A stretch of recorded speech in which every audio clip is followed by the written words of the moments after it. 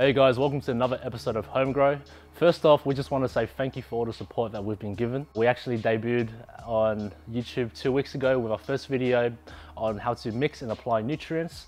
It's actually gone 10,000 views within two weeks, so really appreciate the support. We actually had a comment from Steve Davis where he asked us, why are we doing this? The reason why, we just want to build a hydroponics community all across Australia, but also push the sustainability of, of farming. Hydroponics has great benefits, so really just want to educate the people out there. Now today, we actually are going to be talking about ventilation in your indoor growing systems. Now ventilation is one of the most important things in indoor growing, specifically for three reasons. The first one is maintaining CO2 levels to be optimal. So plants need carbon dioxide for photosynthesis. So you need to contain an indoor system that provides continuous and uninterrupted supply of air. The second part is also maintaining temperature. Now plants are very susceptible to temperature variations. Even the slightest change in the degrees can drastically affect the plants themselves, the quantity and the yield. In an indoor growing system, you guys will be using lights. Every light emits different levels of heat. So therefore you need to keep the temperature cool with the ventilation system. The third one is humidity and that just means excess moisture. If you guys ever taken a walk through the bush or you've seen an environment where there's a lot of plants, you can see water and you can see that they're very moist. Now, moisture and high humidity attracts a lot of insects and unwanted pests, which will dramatically impact the health of your plants. So what you need to do in a ventilation system is to dry out the air because that's going to force your plants to absorb more water through the roots through rich nutrients. If you haven't checked our video beforehand, we demonstrated how you can mix and apply nutrients to do so. What do you need in an indoor ventilation system? First, you need a great fan that is going to circulate a lot of air. You also need some ducts to connect that and a carbon filter to block out any odors or any smell because no one wants unwanted attention. So that's the reason why we're going with the AC Infinity Cloudline series. So guys, we're gonna start unboxing this right now to show you what you're gonna expect when you open it. So, the top, you got the instruction manual, and you also you got the remote. Now for this video, we actually got the six inch uh, fan, but you can choose between the four inch or the eight inch or the 10 inch, just whatever your requirements are. Now you can also choose between the S series or the T series. Now both series models come with similar things. So that includes the same fan, uh, the same duct clamps. You also get zip lines so you can hang the fan up in your grow tent. It also comes with cables which is going to include your temperature probes and also just the plug. The only difference between the S-Series and the T-Series models are the controllers. For the S-Series model, which we don't have at the moment, their controller is very simple. There's only one functionality, which is to adjust the speeds. For the T-Series, it comes with the LCD thermal controller. And there's three modes that you can utilize. The first one is the timer. So you can schedule when it's gonna turn on or turn off during the day. The second part is also auto mode. So this mode you can schedule to turn on or off based on the temperatures and the humidity set. The third mode is the alarm setting. So this is going to notify you if you have high temperatures, low temperatures, high humidities or low humidities. You can also connect it to two of your duct fans to share the same programming.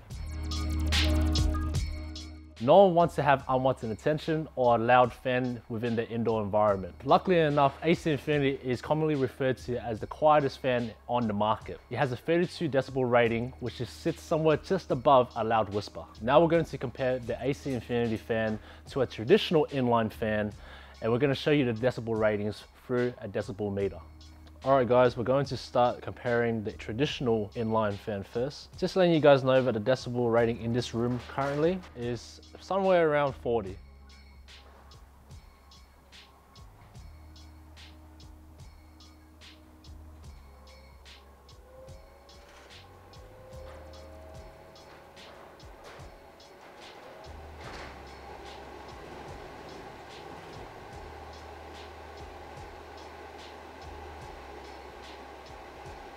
All right guys, we just tested a traditional inline fan. That's giving a decibel rating of 69.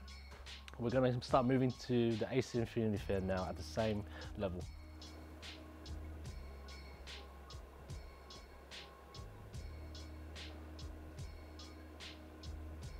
All right guys, we just tested the two fans.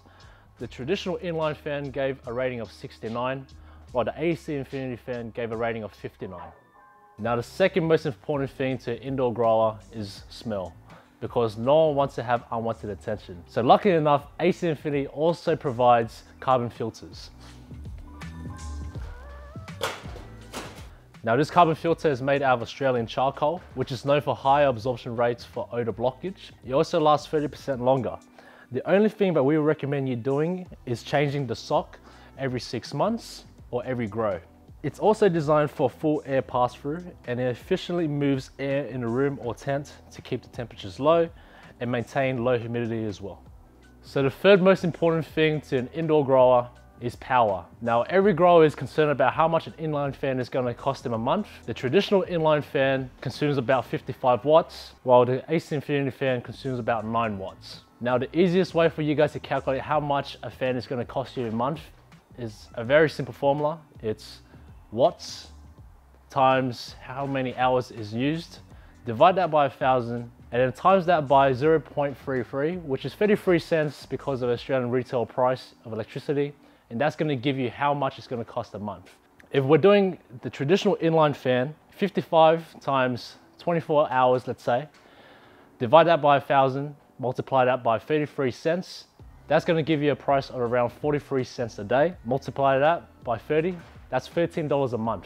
As compared to the AC Infinity fan, if you were to do the same formula at 9 watts, it's gonna cost you around 7 cents a day, times that by 30, that's $2.14 a month. Inline fans, specifically the AC Infinity, doesn't cost you a single thing.